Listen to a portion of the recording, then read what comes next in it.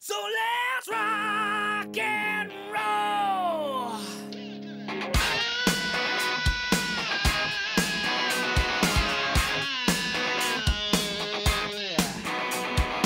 Stepped off the train, I told myself there's no way back. It's in my veins.